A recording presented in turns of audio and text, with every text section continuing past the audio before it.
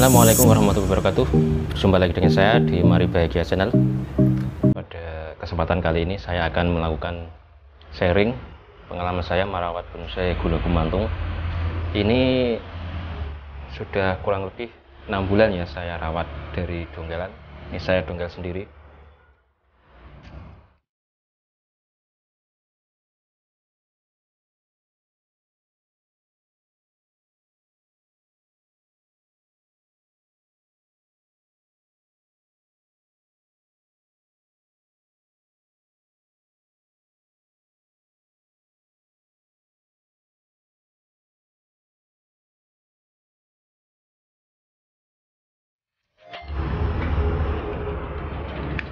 jadi bahan bonsai gula gumantung ini kurang lebih eh, sudah saya rawat sejak dongkelan itu enam bulan ya teman-teman.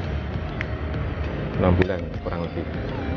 Ini dulu saya dongkel sendiri hasil dongkelan saya sendiri ya. Ini mencoba saya mencoba memahami karakternya ini dulu bonsai gula gumantung ya untuk belajar. Nah, jadi saya tidak mencari bahan gula gumantung lagi. Ini cuma satu ini dulu saya pelajari. Uh, ini fotonya dulu waktu saya dongkel ya ini. Ya. Uh, sebetulnya sudah ada lagi bahan bonsai gelomantung bahan grouping. Tapi belum saya dongkel ya saya mempelajari ini dulu karakternya. Nah ini teman-teman. Ini karakternya bonsai gelomantung tidak mudah kering ya potongannya ini ini tumbuh semua ini. Di potong-potongan terakhir mentok tumbuhnya ini. Ini. Ini kelebihan dari bonsai glomatung pertama. Kemudian yang kedua ini karakternya ini jadi batangnya ini ini. Ada karakter tersendiri. Ini saya dekatkan ya. Ini teman-teman. Ini ada karakter tersendiri ini. Ada belimbing-belimbing seperti itu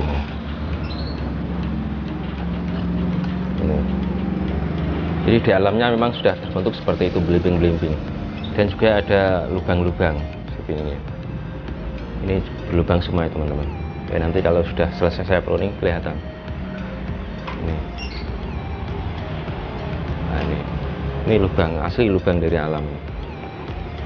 Jadi kalau dapat bahan yang lebih tua lagi mungkin banyak lubang-lubangnya. Karena ini asli dimakan oleh semut-semut atau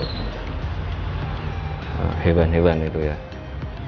Ini dulu waktu waktu saya dongkal itu banyak sekali semutnya teman-teman.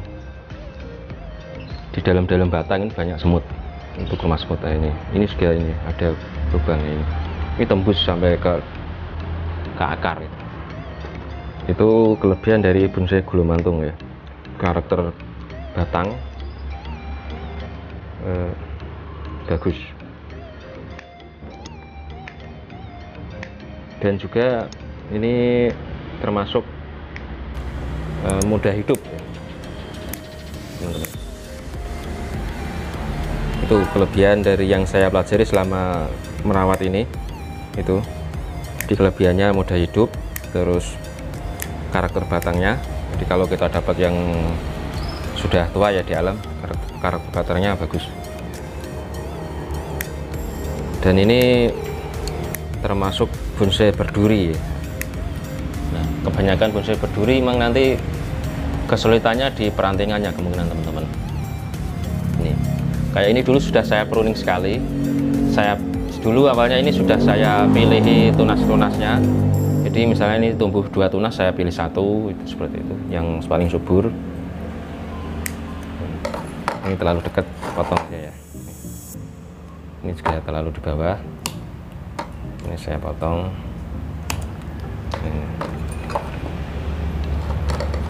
Nah ini, ini sudah saya pruning sekali. Ini nyatanya belum tumbuh tunas ya. Beda dengan serut. Serut sekali di pruning nanti akan banyak cabang anak-anak cabang rantingnya ini belum tumbuh ini anak-anak rantingnya.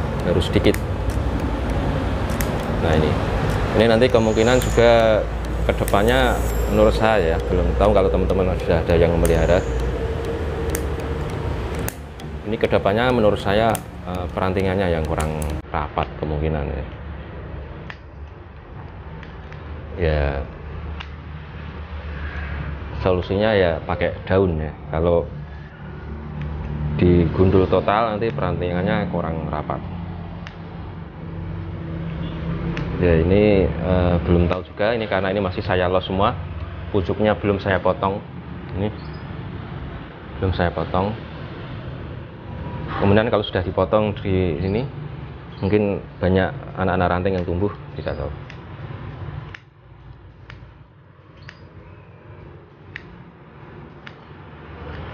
Nah kalau dilihat ini sih apa e, termasuk bonsai berduri. Nah ini ini kalau yang ini tumbuh ini anak cabang satu ini teman-teman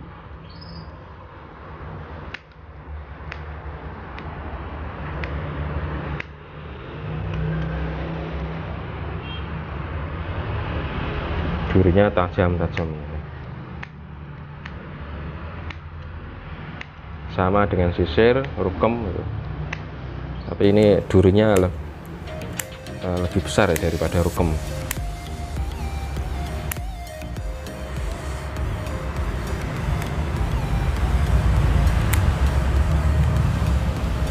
Ke kemudian kekurangan selanjutnya dari bonsai sisir ini eh, jangan telat nyiram ya teman-teman. Ini termasuk yang suka air. Nah, ini kebanyakan habitatnya itu di pinggir sungai saya lihat. Dekat-dekat sumber air. Di rawa-rawa seperti itu tumbuhnya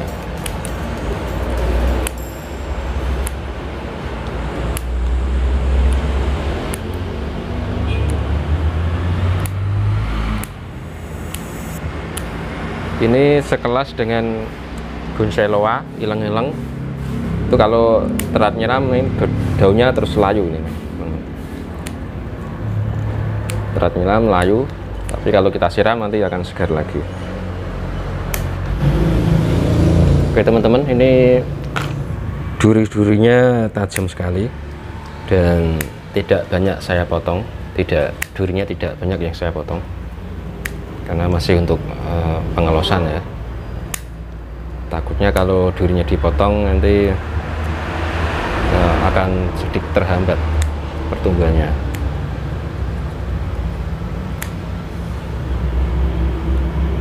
Hmm. oh ini ini satu titik aja tumbuh tiga duri ya teman-teman. Saya dekatkan. Ini. Ini satu titik tumbuh tiga duri seperti ini. Nah ini.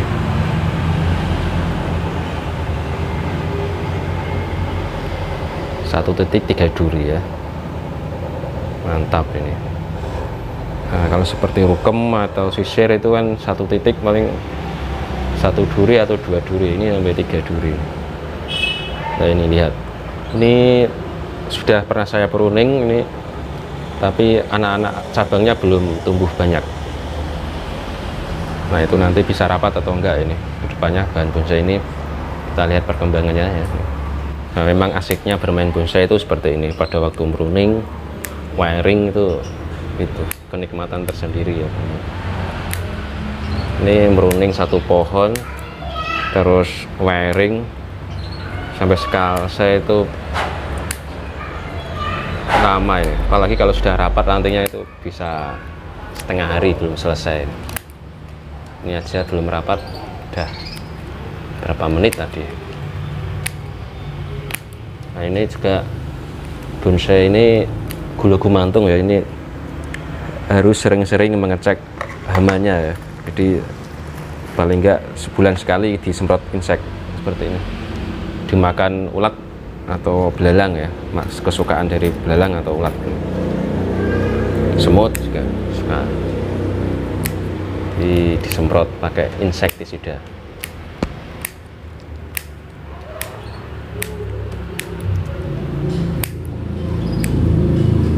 Ini masih lebar-lebar daunnya karena masih pengalosan juga. Dan juga ini kok karakternya tidak banyak tumbuh ranting jadi pengecilannya belum terjadi. Ini ada yang kecil. Hmm. ini seperti ini ini sudah kecil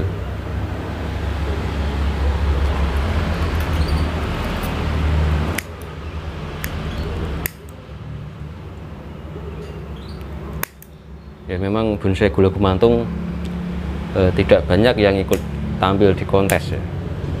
Belum banyak. Kurang tahu apakah belum banyak yang memelihara atau memang ini karena kekurangannya itu tadi menurut saya ke depannya akan perantingannya kurang rapat. Bagaimana? Belum tahu ya. Padahal menurut saya karakter batangnya bagus-bagus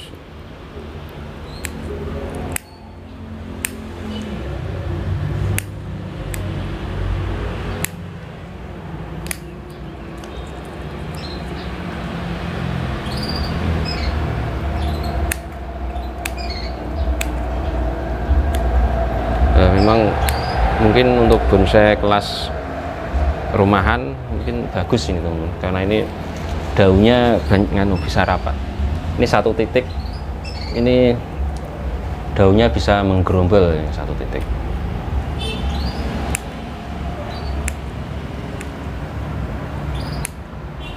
Satu titik tumbuh daun itu bisa banyak tumbuhnya daunnya. Menggerombol dan ini padahal bukan termasuk daun majemuk bonsai. Apa tanaman daun majemuk bukan? Oke teman-teman sudah selesai. Sekarang kita wiring ya. Ini enam bulan dapat cabang gini besarnya. Ini tampak depannya bisa dari sini atau dari sini ya. Belum saya tentukan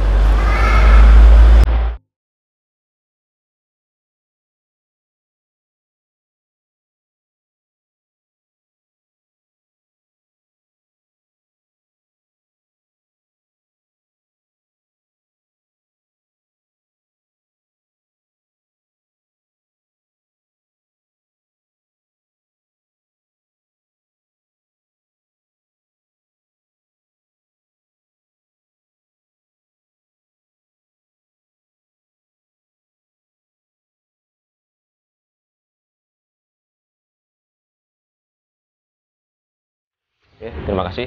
Jangan lupa like, subscribe yang belum. Wassalamualaikum warahmatullahi wabarakatuh.